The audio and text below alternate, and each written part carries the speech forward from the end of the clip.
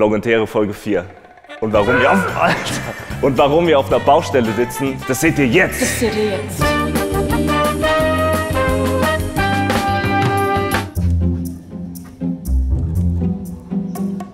Wie finden wir das so? Was machen wir Haus war genau hier. Hä, wo sollen wir filmen? Das nächste Interview. Wir kommen morgens auf die Arbeit und auf einmal stehen da so zwei neue Meetingräume. Dann war da der Stuhl. Hä? Oder? Wir wurden nicht gefragt, ja? Das ist unser Safe Space hier. Wir kriegen jetzt endlich äh, so kleine Besprechungskabinen unten, damit man endlich auch mal in diesem Großraumbüro kurz fünf Minuten einfach mit jemandem sprechen kann. Jetzt erstmal einen Kaffee. Ich habe immer noch die Nase gestrichen voll von der Aktion. Ich weiß nicht, ob er es vielleicht ein bisschen überdramatisiert. Ich find's hier so geil. Danke an der Stelle an die Geschäftsführung. Unser alter Aufnahmeplatz, da hat halt alles begonnen. Ein Stück Herz wurde mir da halt rausgerissen. Er überdramatisiert's. So, ich bin in Bad Ems. Da ist Rheinland-Pfalz-Tag dieses Wochenende und ich bin quasi das ganze Wochenende als Reporter eingeteilt. Warum hat er ein weißes Hemd an? Habt ihr noch nie in einem Hemd gesehen? Manchmal hast du auch so Pressetermine, die einfach wichtig sind mit der Ministerpräsidentin, mit Malu Dreyer jetzt in dem Fall. Dann darfst du dir schon auch mal ein weißes Hemd anziehen. Ich bin jetzt von Freitag bis Sonntag und wir haben da ja eine große RPA1-Bühne und Big FM-Bühne und berichte da einfach jeden Tag, was so los ist. Das ist hier das Office. Alles etwas spärlich eingerichtet, aber egal, Technik steht. Hier kannst du duschen gehen. Ihr seht ganz, ganz viele Schalten heute, stündlich, im Prinzip zwei. Der Jens, äh, mein Kollege, hilft mir da, also wir machen das zu zweit. Ich komme auch kaum zum Filmen. Ist nicht ohne, aber es macht Bock. Es war schon viel Arbeit, aber es hat sich am Ende nicht nach Arbeit angefühlt, weil es einfach so viel Bock gemacht hat. Ne? Leonie war da, Glockenbach waren da, Juli waren da. Ja, witzig. Also es hat sich nicht nach Arbeit angefühlt, muss ich sagen. Jetzt, jetzt geht die Tür zu und gleich sitze ich im Auto kopfüber. Jetzt bin ich seitlich, okay, und jetzt bin ich kopfüber. Ich habe so viele Fragen. Okay, jetzt muss ich hier irgendwie rauskommen. Hallo, guten Tag. Doch die Füße irgendwie raus und geschafft. Huh. Ja, das war halt so ein richtiges Reporter-Feeling, weil ich bin da raus, hatte keinen Plan, was ich machen will und da war dann auf einmal eine Idee und habe daraus einen Take gemacht. Also war witzig.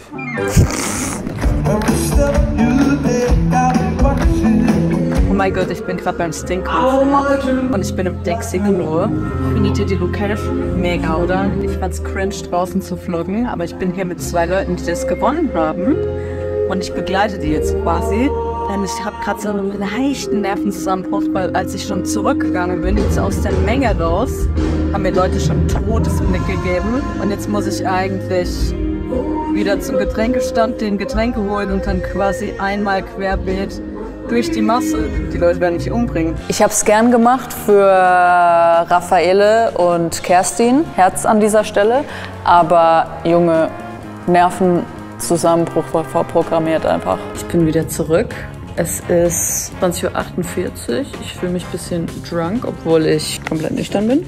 Übrigens habe ich es geschafft, die Becher durch 6000 Menschen durchzutragen. Ich habe es geschafft. Ich krieg gerade schon wieder ein bisschen Flashbacks. Das ist eine To-Do-Liste, die habe ich extra vorm Konzert vorbereitet. Diese To-Do-Liste hat mir mein Leben gerettet. Das sind die wichtigen Sachen. Die arbeite ich ab. Batz, batz, batz, batz, batz. Ich konnte einfach abhaken.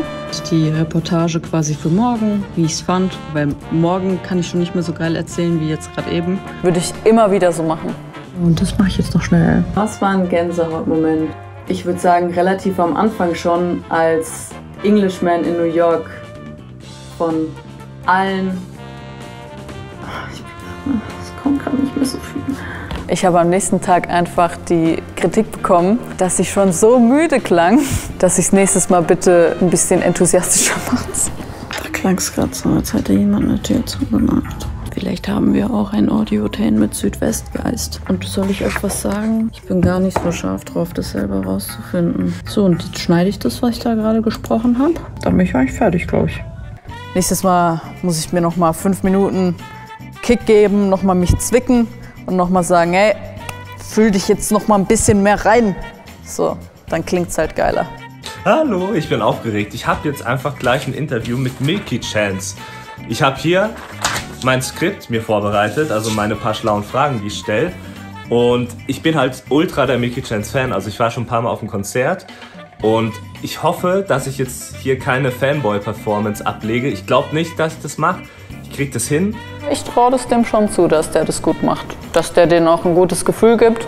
Dass der schon, der Julian, schon auch mal aufgeregt sein kann vor so einem Interview, aber dass der das dann auch mit Bravour auch meistern kann. Ja? Auch nur ein bisschen cringe dann ist. Das ist halt mein allererstes Künstlerinterview über Zoom. Sind leider nicht da, aber Zoom ist auch cool. Ähm, und ja, da warte ich jetzt im Meeting. Da kommen die gleich dazu. Und dann bin ich echt gespannt, was das wird. Let's go. Ich habe dann meine paar schlauen Fragen gestellt, habe sie ein paar albumspezifische Fragen gefragt. Und auch so, was ihre Tour angeht, ihre nächste auf seriös, aber auch locker. Aber dann am Ende habe ich mir doch einen kleinen Fanboy-Moment erlaubt. Ich muss noch eine kurze Anekdote erzählen. Äh, fängt random an, hat aber mit euch zu tun. Ich war nach dem Abi in Australien mit meinem Kumpel Erik. Ich war nach dem Abi in Australien, wenn es schon so anfängt. Und da haben wir einen Trip zu den Whitsunday Islands gemacht, auf dem Boot. Und da waren ganz viele Nationalitäten halt auf einem Boot. Jeder hatte mal das AUX-Kabel, um Mucke anzumachen. Aber nie hat es die Person geschafft, wirklich alle zum Tanzen zu bewegen. Und dann habe ich nachgedacht, okay, Milky Chance, und habe von Blossom einen Song angemacht. Und es war einfach Clouds. Und alle haben getanzt. Geil. Mega. Schöne Anekdote. Shoutout Ja, an richtig Erik geil. und alle anderen vom Boot. Ja, äh, schöne Geschichte auf jeden Fall, Julian. War bisschen Fanboy. Bisschen. Aber hat mir gefallen. Geile Story. Danke fürs Teilen, auf jeden Fall. Ich finde, in so einem Fall kann man dann auch mal eine persönliche Geschichte erzählen. Und dass sie es natürlich cool fanden, war für mich die Hauptsache. Ich darf jetzt was einsprechen, was morgen direkt im Radio läuft. Ihr seid bestimmt aufgeregt und gespannt, was es sein könnte. Hm? Was könnte es sein? Der Kirchenbeitrag. Woo! Ja, muss auch gemacht werden. Früher in der Kirche, da habe ich immer gern Fürbitten vorgelesen. Also, ne? Ich glaube, ich bin die Richtige für den Job. Also wir haben da so ein extra Fach mit unserem ganzen Kirchenzeug drin. Und bei Sendefertig habe ich hier einfach schon mal den Beitrag. Dann haben wir hier einmal Verpackungen. Das sind hier die Musikbetten, das Intro, das Outro, das ziehe ich da alles gleich rein.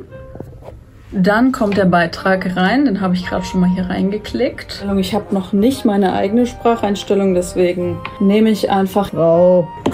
Auf Matthias Friemel wartet ein besonderes Ereignis. Wenn ich den Kirchenbeitrag einspreche, versuche ich erstmal so komplett alle Emotionen abzulegen. Zum Beispiel bei Sting, da war es halt wichtig, dass das emotional ist, soll was rüberkommen, was man in dem Moment auch gefühlt hat. Aber jetzt, wenn ich den Kirchenbeitrag anmoderiere, dann soll es halt einfach plain und simpel, das ist es, darum geht's. Und äh, deswegen versuche ich da so wenig wie möglich Emotionen in der Stimme rüberzubringen. Er wird morgen im Freiburger Münster zum Diakon geweiht. Ich mach's einfach nochmal. Er wird morgen im Freiburger Münster.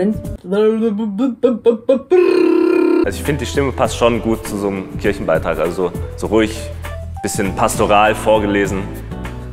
Irgendwie bin ich nicht so zufrieden. Manchmal hat man so einen Singsang. Aber irgendwie fällt es mir auch gerade ein bisschen schwer, äh, den Singsang rauszubekommen. Ich merke mir das jetzt einfach so, dass ich den ersten Teil vom ersten nehme und den zweiten Teil vom zweiten. Man muss halt einfach wissen, wie man es macht, oder? Mach das so, wie ich das will. Du, Mops. Das nehmen wir. Man nehme die Verpackung. Radio Regenbogen Heaven. Gedanken zum Tag. Dann meine Aufnahme.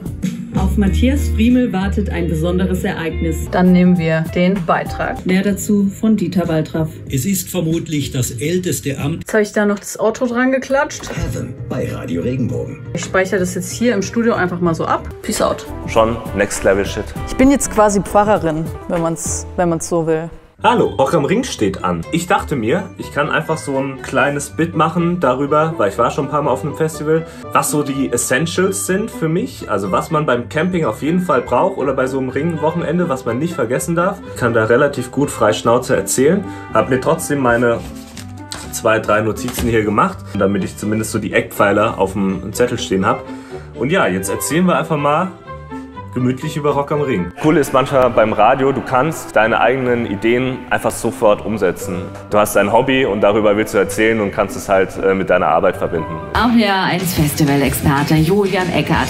Was darf auf keinen Fall empfehlen. Ihr braucht auf jeden Fall eine faltbare Trinkflasche. Die könnt ihr mit aufs Festivalgelände nehmen. Dann Oropax, nicht zu unterschätzen für nachts. Ja, also so hört sich's an.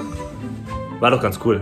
Und äh, ich bin euer approveder Camping-Experte. Falls ihr es noch nicht wisst, wer Fragen hat, ähm, ja, Camping. Let's go. Ja, komm ruhig rein, kein Problem. Das Geile ist manchmal bei unserem Job, es passieren so random Dinge einfach.